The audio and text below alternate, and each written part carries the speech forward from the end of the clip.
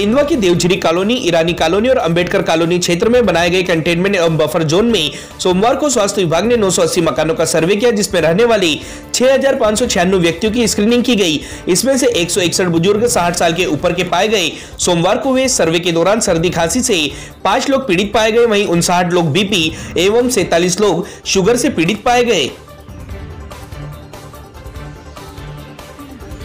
Sendhwa corona positive पाए जाने के बाद स्वस्थ होकर लौटे मोतीबाग क्षेत्र के दो भाई डॉक्टर जाकिर शेख व साकी शेख का क्षेत्र वासियों ने पुष्प वर्षा से किया स्वागत।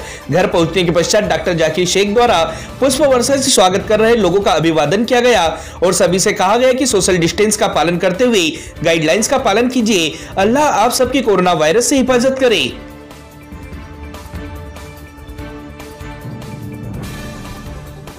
अंजड़ में फर्नीचर दुकान में आग लगने से लाखों रुपए का फर्नीचर जलकर हुआ खाक। आज तड़के शॉर्ट सर्किट से आग लगना बताई जा रही है। रात्रि में गश्त कर रहे पुलिस जवानों की निगाह दुकान पर पड़ी। दुकान से धुआँ उठता देख इसकी सूचना तुरंत दुकान मालिक व फायर फाइटर को की गई। फायर फाइटर ने तुरंत मौके पर पहुंचकर आग पर काबू पाया। आग से लाखों का नुकसान हुआ है।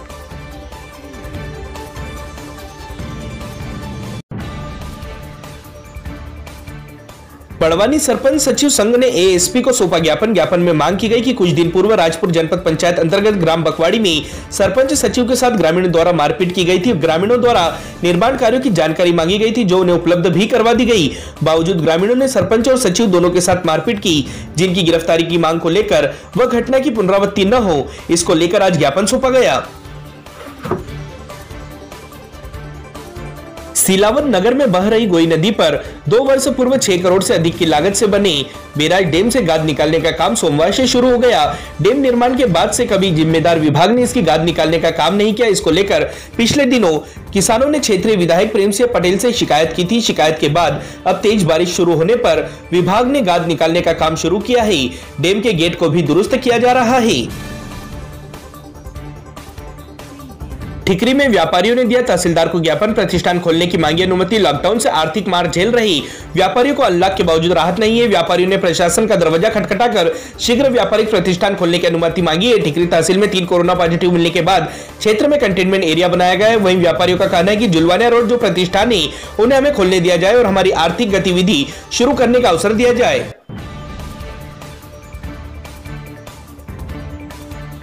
बरू फाटक करंट लगने से 11 वर्षीय मासूम की मौत, ग्राम खारी सांगवी के 11 वर्षीय बालक अखिलेश पिता पप्पू की हुई मौत। परिजनों से प्राप्त जानकारी अनुसार बच्चा व अन्य दो साथी प्रतिदिन पशुओं को पानी पिलाने जाते थे। उसी दौरान बच्चे को हाथ में करंट लगा, जिससे बच्चा ज़मीन पर गिर गया।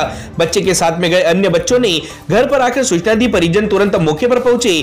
बच्चे को लेकर प्राथमिक स्वास्थ्य केंद्र बरू फाटक लेकर पहुँचे, जहाँ डॉक्टर ने बच्चे को मृत घोषित कर दिया।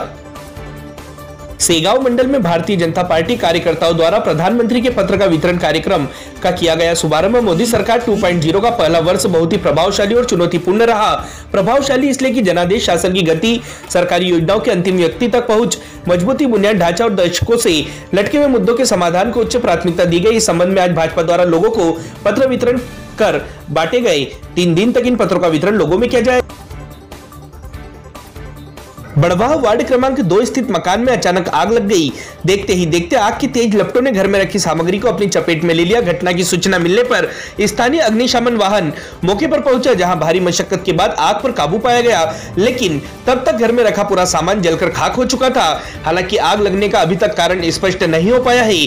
पुलिस इस मामले की जाँच कर रही है।